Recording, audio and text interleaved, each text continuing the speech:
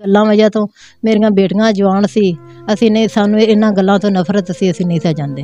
ਕੀ ਵਜ੍ਹਾ ਸੀ? ਮਤਲਬ ਉਹ ਔਰਤ ਜਿਹੜੀ ਨਾ ਉਹ ਤੁਹਾਡੇ ਨਾਲ ਉਹਦੀ ਬਣਦੀ ਨਹੀਂ ਸੀ ਕਿ ਕਰੈਕਟਰ ਠੀਕ ਨਹੀਂ ਸੀ ਜਾਂ ਕੀ? ਕਰੈਕਟਰ ਨਹੀਂ ਸੀ ਠੀਕ ਬੰਦੇ ਆਦਮੀ ਆਉਂਦੇ ਜਾਂਦੇ ਸੀ ਅਸੀਂ ਨਹੀਂ ਸਹਿ ਜਾਂਦੇ ਫਿਰ ਇਸ ਵਜ੍ਹਾ ਤੋਂ। ਜਿਹੜੀ ਇਹ ਔਰਤ ਹੈ ਇਹਨਾਂ ਲੋਕਾਂ ਦੇ ਨਾਲ ਜਿਹੜਾ ਤਲਕਾਤ ਸੀ ਸਹੀ ਨਹੀਂ ਸੀ ਲੋਕ ਇਹਨਾਂ ਦੇ ਦੇ ਜਾਂਦੇ ਸੀ गलत के साथ मैं हूँ आपका मेज़बान उमैर अली नादरीन इस वक्त मैं थाना मुस्बाबाद के इलाका सरियारी के अंदर मौजूद हूँ सलीम के घर में जिसको 23 फरवरी को बेरहमी से गोलियाँ मारकर कत्ल कर दिया जाता है मेरे साथ उनकी मिसेज मौजूद है इनसे जानेंगे कि कौन लोग थे जिन्होंने इनके शोहर को कत्ल किया और कत्ल की वजह क्या बनी असलम वालेकुम सलाम भैन मैंने दसो कि थोड़े शोहर न 23 ਫਰਵਰੀ ਵਾਲੇ ਦਿਨ ਗੋਲੀਆਂ ਮਾਰ ਕੇ ਬੇਰਹਿਮੀ ਨਾਲ ਕਤਲ ਕਰ ਦਿੱਤਾ ਜਾਂਦਾ ਹੈ। ਕਿਹੜੀ ਐਸੀ ਵਜ੍ਹਾ ਬਣੀ ਨੋਬਤ ਆ ਗਈ ਕਿ ਉਹ ਲੋਕਾਂ ਨੇ ਤੁਹਾਡੇ ਸ਼ੋਹਰ ਨੂੰ ਕਤਲ ਕੀਤਾ ਕਿਉਂ ਕੀਤਾ ਹੈ? ਭਾਈ ਇਹ ਤਾਰਾਂ ਸੀ ਬੱਤੀ ਦੀਆਂ ਇਹ ਥੋੜੀਆਂ ਹੀ ਨੀਵੀਆਂ ਸੀ ਇਹ ਇਹਦੀ ਵਜ੍ਹਾ ਤੋਂ ਬੋਲੀ ਏ ਕਿੰਨਾਂ ਦੀਆਂ ਤਾਰਾਂ ਸੀ ਔਰ ਕੌਣ ਬੋਲਿਆ ਤੁਹਾਡੇ? ਹਮਸਾਈ ਬੋਲੀ ਏ ਫੌਜੀਆ। ਤੇ ਖਾਮਦ ਦੇ ਨਾਮ ਸਰਦਾਰ ਏ ਉਹਨੇ ਵੀ ਆਖਿਆ ਵੀ ਤੁਹਾਡੇ ਨਾਲ ਨਿਬੜ ਲਾਂਦੇ ਤਾਰਾਂ ਤੁਹਾਡੀਆਂ ਸੀ ਉਹ ਨੀਵੀਆਂ ਸੀ ਉਹਦੀ ਵਜ੍ਹਾ ਤੋਂ ਤੁਹਾਡੀ ਤਲਖ ਕਲਾਮੀ ਹੋਈ। ਹਾਂਜੀ। ਫਿਰ ਉਸ ਤੋਂ ਬਾਅਦ? ਉਸ ਤੋਂ ਬਾਅਦ ਕੋਈ ਗੱਲ ਨਹੀਂ ਹੋਈ ਸਾਡੀ। ਤੁਹਾਨੂੰ ਉਹਨੇ ਮਤਲਬ ਜ਼ਾਰੀ ਗੱਲ ਲੜਾਈ ਹੋਈ ਸੀ ਲੜਾਈ ਕਿਸ ਨੋਬਤ ਤੱਕ ਗਈ ਹੈ? ਕੋਈ ਗੱਲਬਾਤ ਹੋਈ ਸੀ ਕੋਈ ਗਾਲੀ ਗਲੋਚ ਹੋਇਆ? ਕੀ ਕਿਹਾ ਸੀ? ਨਾ ਉਸ ਤੋਂ ਬਾਅਦ ਕੋਈ ਸਾਡੇ ਗਾਲੀ ਗਲੋਚ ਹੋਈ ਕੋਈ ਗੱਲ ਜਿਸ ਦਿਨ ਲੜਾਈ ਹੋਈ ਉਸ ਦਿਨ ਕੀ ਹੋਇਆ? ਉਸੇ ਦਿਨ ਇਹਨੇ ਬ- ਬੰਦੇ ਬੁਲਾਏ ਨੇ ਵੀ ਇਸ ਤਰ੍ਹਾਂ ਇਹ ਸਾਡੇ ਨਾਲ ਲੜਦੇ ਨੇ ਉਹਨਾਂ ਆਣ ਕੇ ਪੁੱਛਿਆ ਵੀ ਕੀ ਗੱਲ ਕਿਉਂ ਲੜਦੇ ਅਸੀਂ ਕਿਹਾ ਵੀ ਸਾਡੀ ਕੋਈ ਲੜਾਈ ਨਹੀਂ ਦੀ ਕੋਈ ਗੱਲਬਾਤ ਨਹੀਂ ਸਾਡਾ ਇਹ ਪਿੱਛਾ ਕਰਦੇ ਨੇ।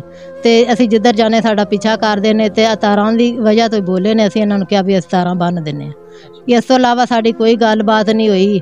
ਇਹਨੇ ਤੀਸਰੇ ਦਿਨ ਮੰਦੇ ਪਿੱਛੇ ਲਾ ਕੇ ਤੇ ਮੇਰੇ ਖਾਮਦ ਨੂੰ ਇਹਨੇ ਕਤਲ ਕਰਵਾ ਦਿੱਤਾ। ਅੱਛਾ ਮੈਨੂੰ ਦੱਸੋ ਕਿ ਤੁਹਾਡੀ ਸ਼ਾਦੀ ਨੂੰ ਕਿੰਨੀ ਦੇਰ ਹੋ 28 ਸਾਲ। ਗਈ ਪੰਜ।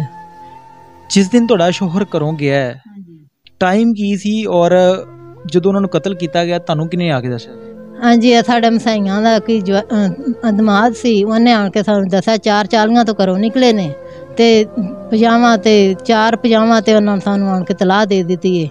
ਅਸੀਂ ਗਏ ਆ ਤੇ ਖਤਮ ਹੋਇਆ। ਸੀ ਕੋਈ ਸਾਹ ਨਹੀਂ ਸੀਗਾ ਸਾਹ ਸਭ ਖਤਮ ਹੋ ਗਏ ਸੀ। ਕਿੰਨੇ ਕਤਲ ਕਿੰਨੇ ਕੀਤਾ ਹੈ? ਉਹ ਮਤਲਬ ਦੋ ਲੋਕ ਤੇ ਇਹ ਨੇ ਨਾ ਇੱਕ ਹੁੰਦੀ ਜਿਹੜੀ ਤੁਹਾਡੀ ਹਮਸਾਈ ਉਹਦੀ ਮਿਸਿਸ ਫੌਜੀ ਹੈ ਇੱਕ ਸਰਦਾਰ ਉਸ ਤੋਂ ਇਲਾਵਾ ਬਾਕੀ ਜਿਹੜੇ ਤਿੰਨ ਲੋਕ ਨੇ ਉਹ ਕੌਣ ਨੇ? ਉਸ ਤੋਂ ਇਲਾਵਾ ਤਿੰਨ ਮੁਜਰਮ ਨੇ ਜਿਨ੍ਹਾਂ ਕਤਲ ਕੀਤਾ ਹੈ। ਉਹਨਾਂ ਕੋਲੋਂ ਕਰਵਾਇਆ ਗਿਆ ਹੈ ਜਾਂ ਇਹਦੇ ਰਿਸ਼ਤੇਦਾਰ? ਨਹੀਂ ਨਹੀਂ ਉਹਨਾਂ ਕੋਲ ਕਰਵਾਇਆ ਗਿਆ ਇਹਦੇ ਰਿਸ਼ਤੇਦਾਰ ਨਹੀਂ ਹੈਗੇ ਹੈਗੇ ਗਹਿਰ ਏ ਇਹਨੇ ਉਹਨਾਂ ਨੂੰ ਪੈਸਾ ਦੇ ਕੇ ਇਹਨੇ ਕਤਲ ਕਰਵਾ ਦਿੱਤਾ ਉਹਨਾਂ ਕੋਲ। ਯਾਨੀ ਕਿ ਇਸ ਔਰਤ ਨੇ ਕਤਲ ਕਰਵਾਇਆ। ਇਸ ਬੀਵੀ ਨੇ ਕਤਲ ਕਰਵਾਇਆ ਇਹਨਾਂ ਦੋਵਾਂ ਨੇ ਕਤਲ ਕਰਵਾਇਆ ਹੈ। ਜਿਹੜੀ ਇਹ ਔਰਤ ਹੈ ਜ਼ਰੀ ਗੱਲ ਹੈ ਤੁਹਾਡੀ ਹਮਸਾਈ ਹੈ ਕਿੰਨੀ ਦੇਰ ਤੋਂ ਤੁਹਾਡੇ ਘਰ ਦੇ ਨਾਲ ਇਹ ਰਹਿੰਦੇ ਰਹਿ ਰਹੇ ਨੇ? ਆ ਇਹਨਾਂ ਨੂੰ ਹੋ ਗਏ ਨੇ 4-5 ਸਾਲ ਹੋ ਗਏ ਆ ਨੂੰ ਹਾਂਜੀ। 4-5 ਸਾਲ ਤੋਂ ਇਹਨਾਂ ਦਾ ਰਵਈਆ ਕਿਸ ਤਰ੍ਹਾਂ ਦੇ ਸੀ ਤੁਹਾਡੇ ਨਾਲ ਰਵਈਆ ਗਲਤ ਸੀ ਇਹਨਾਂ ਰਵਈਆ ਨਹੀਂ ਸੀ ਠੀਕ ਅਸੀਂ ਮਤਬਲ ਨਹੀਂ ਸੀ ਲੈਂਦੇ ਅਸੀਂ ਦੇ ਦਿੰਦੇ ਸਾਂ ਅਸੀਂ ਮਤਬਲ ਲੈਂਦੇ ਨਹੀਂ ਸਾਂ। ਨਾ ਅਸੀਂ ਇਹਨਾਂ ਦੇ ਘਰ ਕਦੇ ਗਏ ਸਾਂ ਨਾ ਬੁਲਾਇਆ ਸੀ ਨਾ ਸਾਡੀ ਕੋਈ ਗੱਲਬਾਤ ਸੀ। ਇਹਨਾਂ ਦੇ ਗੱਲਾਂ ਵਜ੍ਹਾ ਤੋਂ ਮੇਰੀਆਂ ਬੇਟੀਆਂ ਜਵਾਨ ਸੀ ਅਸੀਂ ਨਹੀਂ ਸਾਨੂੰ ਇਹਨਾਂ ਗੱਲਾਂ ਤੋਂ ਨਫ਼ਰਤ ਸੀ ਅਸੀਂ ਨਹੀਂ ਸਹਿ ਜਾਂਦੇ। ਕੀ ਵਜ੍ਹਾ ਸੀ? ਮਤਲਬ ਉਹ ਔਰਤ ਜਿਹੜੀ ਨਾ ਉਹ ਤੁਹਾਡੇ ਨਾਲ ਉਹਦੀ ਬਣਦੀ ਨਹੀਂ ਸੀ ਕਿ ਕੈਰੈਕਟਰ ਠੀਕ ਨਹੀਂ ਸੀ ਜਾਂ ਕੀ? ਕੈਰੈਕਟਰ ਨਹੀਂ ਸੀ ਠੀਕ ਬੰਦੇ ਆਦਮੀ ਆਉਂਦੇ ਜਾਂਦੇ ਸੀ ਅਸੀਂ ਨਹੀਂ ਸਾ ਜਾਂਦੇ ਫਿਰ ਇਸ ਵਜ੍ਹਾ ਤੋਂ। ਜਿਹੜੀ ਇਹ ਔਰਤ ਹੈ ਇਹਨਾਂ ਲੋਕਾਂ ਦੇ ਨਾਲ ਜਿਹੜਾ ਤਲਕਾਤ ਸੀ ਸਹੀ ਨਹੀਂ ਸੀ ਲੋਕ ਇਹਨਾਂ ਦੇ ਘਰਾਂ ਦੇ ਜਾਂਦੇ ਸੀ ਮਰਦ ਇਹਦੇ ਤਲਕਾਤ ਗਲਤ ਸੀ ਅਸੀਂ ਇਹਦੀ ਵਜ੍ਹਾ ਨਹੀਂ ਸੀ ਫੇਰ ਆਉਂਦੇ ਜਾਂਦੇ। ਯਾਨੀ ਕਿ ਤੁਸੀਂ ਉਹਨੂੰ ਬੁਲਾਇਆ ਚਲਾਇਆ ਨਹੀਂ ਦਾ ਉਹਦੇ ਨਾਲ ਲੈਣ ਦੇਣ ਨਹੀਂ ਰੱਖਿਆ ਉਹਦੀ ਵਜ੍ਹਾ ਤੋਂ ਉਹਨੂੰ ਇਹ ਵੀ ਦੁੱਖ ਸੀ।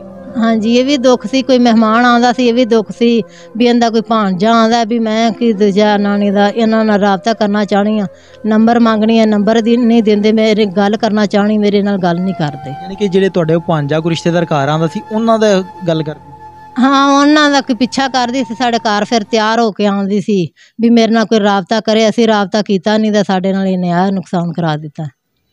ਜਦੋਂ ਇਹਦੇ ਨਾਲ ਲੜਾਈ ਹੋਈ ਏ, ਉਸ ਤੋਂ ਕਿੰਨੇ ਦਿਨ ਬਾਅਦ ਤੁਹਾਡੇ ਸ਼ੋਹਰ ਦਾ ਕਤਲ ਹੋਇਆ? ਹਾਂਜੀ, ਲੜਾਈ ਹੋਈ 10 ਕੁ ਦਿਨ ਤੱਕ ਹੀ ਇਹਨੇ ਪਿੱਛਾ ਕਰਵਾਇਆ, ਉਹਨਾਂ ਨੂੰ ਆਦਮੀਆਂ ਨੂੰ ਕਹਿ ਕੇ ਸਾਨੂੰ ਪਤਾ ਨਹੀਂ ਚੱਲਿਆ। ਉਸ ਤੋਂ ਬਾਅਦ ਜੇ ਸਾਨੂੰ ਕੋਈ ਪਤਾ ਚੱਲ ਜਾਂਦਾ ਤੇ ਅਸੀਂ ਆਪਦੇ ਮੀਆਂ ਦੀ ਛੁੱਟੀ ਕਰਵਾ ਲੈਂਦੇ, ਉਹ ਵੀ ਛੁੱਟੀ ਕਰ ਲੈਂਦਾ। ਤੇ ਅੱਜ ਆ ਸਾਡੇ ਖਾਮਦ ਦਾ ਮੇਰੇ ਦਾ ਕਤਲ ਨਾ ਹੁੰਦਾ, ਅਸੀਂ ਇਸ ਟਾਈਮ ਨੂੰ ਪਛਤਾਉਣੇ ਆ। ਤੇ ਜੇ ਸਾਨੂੰ ਪਤਾ ਹੁੰਦਾ ਵੀ ਇਹ ਸਾਡੇ ਦੁਸ਼ਮਣ ਅਸੀਂ ਸਾਈਡ ਤੇ ਚਲੇ ਜਾਂਦੇ, ਕਿਰਾਏ ਤੇ ਮਕਾਨ ਲੈ ਲੈਂਦੇ, ਤੇ ਮੇਰਾ ਖਾਮਦ ਬਚ ਜਾਂਦਾ। ਸਾਨੂੰ ਖਾਮਦ ਦੀ ਜ਼ਰੂਰਤ ਸੀ ਸਾਨੂੰ ਕੋਈ ਜਗ੍ਹਾ ਦੀ ਨਹੀਂ ਸੀ ਜ਼ਰੂਰਤ। ਅਸੀਂ ਕਿਰਾਏ ਤੇ ਦੇ ਦਿੰਦੇ ਹੋਰ ਕਿਤੇ ਜਾ ਕੇ ਰਹਿ ਲੈਂਦੇ। ਅੱਛਾ ਮੇਰੇ ਭੈਣ ਮੈਨੂੰ ਦੱਸੋ ਤੁਹਾਡੇ ਪੰਜ ਬੱਚੇ ਨੇ। ਤੁਹਾਡਾ ਸ਼ੋਹਰ ਹੀ ਕਮਾਉਣ ਵਾਲਾ ਸੀ ਔਰ ਕੰਮ ਕੀ ਕਰਦਾ ਸੀ? ਤੌਲਗੇ ਦਾ ਕੰਮ ਕਰਦਾ ਸੀ ਰੋਸਮ ਫੈਕਟਰੀ ਤੌਲਗੇ ਵਾਲੀ। ਜਿਸ ਦਿਨ ਉਹਨਾਂ ਨੂੰ ਕਤਲ ਕੀਤਾ ਗਿਆ ਹੈ ਉਹ ਪੰਜ ਲੋਕ ਜਿੱਥੇ ਮੌਜੂਦ ਸੀ ਜਾਂ ਉਹ ਜਿਹੜੇ ਤਿੰਨ ਲੋਕ ਜਿਨ੍ਹਾਂ ਨੂੰ ਪੈਸੇ ਦੇ ਕੇ ਜਾਂ ਕਿਸੇ ਵੀ ਤਰੀਕੇ ਨਾਲ ਕਤਲ ਕਰਵਾਇਆ ਉਹ ਹੀ ਲੋਕ ਮੌਜੂਦ ਸੀ ਉੱਥੇ? ਤਿੰਨ ਲੋਕ ਉੱਥੇ ਮੌਜੂਦ ਸੀ ਦੋ ਲੋਕ ਘਰ ਮੌਜੂਦ ਸੀ। ਇਹਨਾਂ ਦੀ ਲਾਈਟ ਚੱਲਦੀ ਪਈ ਸੀ ਇਹਨਾਂ ਦੇ ਕੀ ਫੋਨ ਚੱਲਦਾ ਪਿਆ ਸੀ।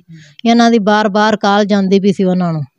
ਤੇ ਗੱਲ ਕਰਦੇ ਪਏ ਸੀ ਸਾਈਡ ਤੇ ਹੋ ਕੇ ਉਹ ਇਸ਼ਾਰੇ ਕਰਦਾ ਵੀ ਮੈਨੂੰ ਨਾ ਮਾਰੋ ਮੈਂ ਤੁਹਾਡਾ ਕੀ ਗਵਾਇਆ। ਇਹਨਾਂ ਨਹੀਂ ਰੁਕੇ ਉਹਨਾਂ ਕਿਹਾ ਮੈਨੂੰ ਨਾ ਮਾਰੋ ਮੇਰੇ ਕੋਲ ਪੈਸੇ ਲੈ ਲਓ ਜਿਹੜੇ ਹੈਗੇ ਨੇ ਮੋਬਾਈਲ ਲੈ ਲਓ ਨਾ ਮੋਬਾਈਲ ਵੀ ਨਹੀਂ ਲਿਆ ਤੇ ਪੈਸੇ ਵੀ ਨਹੀਂ ਲਏ ਤੇ ਮਾਰ ਕੇ ਚਲੇ ਗਏ ਨੇ। ਯਾਨੀ ਕਿ ਪੈਸੇ ਵੀ ਨਹੀਂ ਲੈ ਮੋਬਾਈਲ ਵੀ ਨਹੀਂ ਲਿਆ ਤੇ ਫਿਰ ਇਹਨਾਂ ਨੇ ਕਤਲ ਜ਼ਹਿਰੀ ਗੱਲ ਹੈ ਅਗਰ ਉਹ ਅਸੀਂ ਜਿਹੜੇ ਉਹ ਜਿਨ੍ਹਾਂ ਨੇ ਕਤਲ ਕੀਤਾ ਹੈ ਕਾਤਲ ਹੈ ਉਹਦਾ ਇੰਟਰਵਿਊ ਕੀਤਾ ਉਹ ਕਹਿ ਰਿਹਾ ਜੀ ਮੈਂ ਸਿਰਫ ਔਰ ਸਿਰਫ ਅਸੀਂ ਵਾਰਦਾਤ ਕਰਨ ਵਾਸਤੇ ਗਏ ਸਾਂ ਅਸੀਂ ਪੈਸੇ ਲੈ ਆਏ ਨੇ ਤੇ ਉਸ ਤੋਂ ਬਾਅਦ ਉਹਨੂੰ ਕਤਲ ਕਰ ਦਿੱਤਾ ਗਿਆ ਨਹੀਂ ਝੂਠ ਬੋਲਦੇ ਨੇ ਝੂਠ ਬੋਲਦੇ ਨੇ।